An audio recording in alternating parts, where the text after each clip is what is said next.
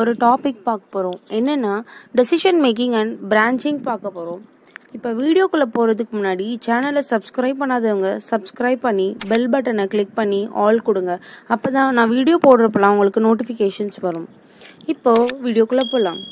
Decision making and பிரான்ச்சிங்கில் என்னென்னா சியில் set of statement இருக்கும் தென் அது நார்மலாக தான் எக்ஸிக்யூட் ஆகும்னு ப்ரீவியஸ் வீடியோஸ்லலாம் பார்த்தோம். இது எப்போ நடக்கும்னா ரிப்பீட்டடாக கேல்குலேஷன்ஸ்லாம் வேண்டாம் அப்படின்றப்ப. பட் சில சுச்சுவேஷன்ஸில் எக்ஸிக்யூஷனோட ஆர்டரை சேஞ்ச் பண்ணுற மாதிரி வரும் சில கண்டிஷன்ஸோட இல்லைனா சில குரூப் ஆஃப் ஸ்டேட்மெண்ட்டை ரிப்பீட் பண்ணுற மாதிரி சில சுச்சுவேஷன்ஸ் வரும். இந்த சுச்சுவேஷனில் டெசிஷன் மேக்கிங் யூஸ் ஆகும். லைக் இஃப் ஸ்டேட்மெண்ட் ஸ்விட்ச் statement conditional operator statement go to statement இதெல்லாம். இதெல்லாம் டெசிஷன் மேக்கிங் ஸ்டேட்மெண்ட்னு சொல்லுவோம். ஃப்ளோ ஆஃப் எக்ஸிக்யூஷனை கண்ட்ரோல் பண்ணுறனால இதை கண்ட்ரோல் ஸ்டேட்மெண்ட்ஸ்னு சொல்லுவோம். இந்த வீடியோவில் இஃப் ஸ்டேட்மெண்ட் மட்டும் பார்க்கலாம்.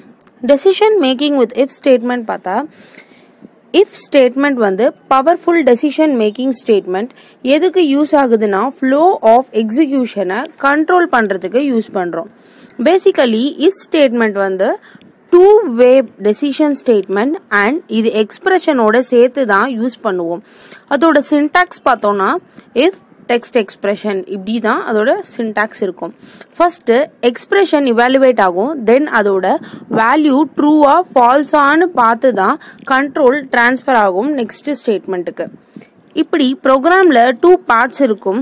ஒன் ட்ரூ கண்டிஷனுக்கு இன்னொன்று ஃபால்ஸ் கண்டிஷனுக்கு example if bank balance zero borrow money இஃப்லேயே நிறைய ஃபார்ம்ஸ் இருக்குது சிம்பிள் இஃப் ஸ்டேட்மெண்ட்டும் போடலாம். If else statement nested if else S else if லேடர்னு இவ்வளோ டைப் ஆஃப் ஃபார்ம்ஸ் இருக்கு. சிம்பிள் இஃப் ஸ்டேட்மெண்ட் பார்க்கலாம். அதோட சின்டாக்ஸ் பார்த்தோம்னா வெறும் இஃப் மட்டும்தான் இருக்கும்.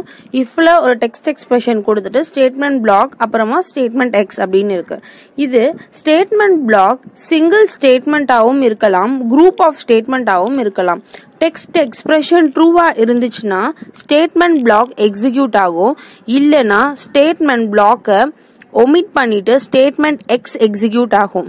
பட் ஸ்டேட்மெண்ட் பிளாக் ட்ரூவா இருந்தா both statement block and statement X ரெண்டுமே வந்து எக்ஸிக்யூட் ஆகும். இந்த ஃப்ளோ சார்ட்ல ப்ரோக்ராம் என்டர் ஆனதும் டெஸ்ட் எக்ஸ்பிரஷன் செக் பண்ணும். ட்ரூனா statement block then statement X execute ஆகும். ஃபால்ஸ்னா ஸ்டேட்மெண்ட் எக்ஸுக்கு போயிட்டு நெக்ஸ்ட் ஸ்டேட்மெண்ட்டுக்கு போயிடும். எக்ஸாம்பிள் ஒன்று பார்க்கலாம். இப்போ மெயினில் நம்ம AB is equal to five அப்படின்னு போட்டுக்கிறோம். டிக்ளேர் பண்ணி வேல்யூவும் இனிஷியலைஸ் பண்ணியாச்சு. இஃப்பில் ஒரு கண்டிஷன் ஏபி லெஸ் தென் டுவெண்ட்டின்னு போட்டிருக்கோம்.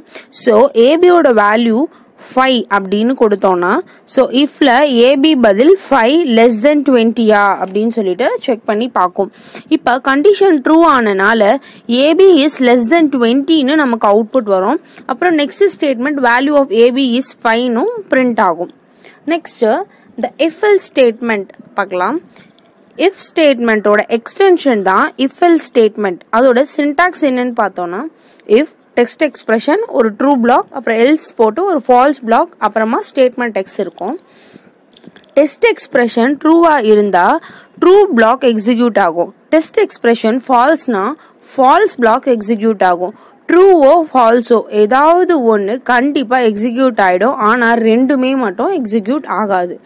ஆனால் ட்ரூ ஆ இருந்தாலும் ஃபால்ஸாக இருந்தாலும் ஸ்டேட்மெண்ட் எக்ஸ் வந்து கண்டிப்பாக இங்கே எக்ஸிக்யூட் ஆகிடும் இப்போ இந்த எக்ஸாம்பிள் பார்க்கலாம். கோட் வந்து ஒன்னாக இருந்தால் இருந்தா. இப்போ if code is equal to ஒன்னு இருக்கு. இதோட அர்த்தம் என்னன்னா கோட் வந்து ஒன்னா அப்படின்னு செக் பண்ணோம் ஒன்னா இருந்துச்சுன்னா boy is equal to boy plus one அப்படின்ட்டு ஆகும். அப்படி இல்லைன்னா கேர்ள் பிளஸ் ஒன் வந்து எக்ஸிக்யூட் ஆகும். அப்புறம் நெக்ஸ்ட் ஸ்டேட்மெண்ட் எக்ஸ் எக்ஸ் எக்ஸ்க்கு கண்ட்ரோல் டிரான்ஸ்ஃபர் ஆகிடும் இப்போ கோட் வந்து ஒன்னா இருக்கப்ப பாய் பிளஸ் ஒன் எக்ஸிக்யூட் ஆகும்னு சொன்னேன் இல்லையா?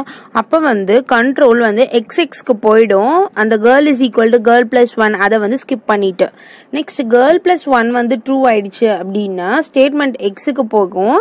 அப்புறம் boy is equal to boy plus ஒன்ன்ற line வந்து ஸ்கிப் பண்ணிட்டு போயிடும். இப்போ இன்னொரு எக்ஸாம்பிள் பார்க்கலாம். If C minus D not equal to zero ratio calculate பண்ணி பிரிண்ட் பண்ணணும். அந்த ரேஷியோ வேல்யூ இல்லைன்னா C minus D is equal to zero அப்படின்னு பிரிண்ட் பண்ணணும்னு கொடுத்துருக்கோம். இதில் C minus D not equal to ஜீரோனா ratio calculate ஆகி பிரிண்ட் ஆகும்.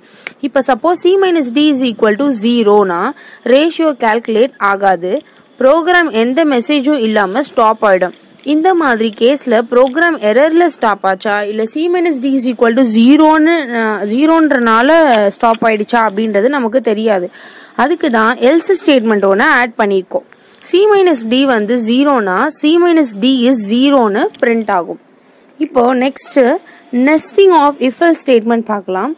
நிறைய டெசிஷன்ஸ் ப்ரோக்ராமில் இன்க்ளூட் பண்ணணும்னா மோர் தென் ஒன் இஃபல்ஸ் தேவைப்படும். அதுதான் நெஸ்டட் இஃபல் ஸ்டேட்மெண்ட் அப்படின்னு சொல்லுவோம். அதோட சின்டாக்ஸ் பார்த்தா இப்படி இருக்குது இது என்ன சொல்லுது அப்படின்னா கண்டிஷன் ஒன் வந்து ஃபால்ஸ் ஆனால் ஸ்டேட்மெண்ட் த்ரீ எக்ஸிக்யூட் ஆகும். அப்புறம் ஸ்டேட்மெண்ட் எக்ஸ் அப்புறம் நெக்ஸ்ட் ஸ்டேட்மெண்ட்டுக்கு போகும். கண்டிஷன் ஒன் ட்ரூனா கண்டிஷன் டூ டெஸ்ட் பண்ணும். இப்போ கண்டிஷன் டூ ட்ரூவாக இருந்தால் ஸ்டேட்மெண்ட் ஒன் எவலுவேட் ஆகும். அப்புறம் ஸ்டேட்மெண்ட் எக்ஸ் நெக்ஸ்ட் ஸ்டேட்மெண்ட் போகும். அதுவே கண்டிஷன் டூ ஃபால்ஸாக இருந்தால் ஸ்டேட்மெண்ட் டூ எவாலுவேட் ஆகும். அண்ட் கடைசியாக ஸ்டேட்மெண்ட் எக்ஸுக்கு கண்ட்ரோல் போகும். இதோட ஃப்ளோ சார்ட் பார்த்தா எக்ஸிக்யூஷன் கிளியராக புரியும்.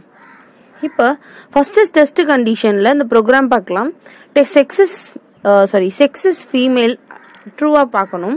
கொடுத்துருக்க செக்ஸ் ஃபீமேலாக இருந்தால் next test condition balance greater than five தௌசண்டாக பார்க்கும்.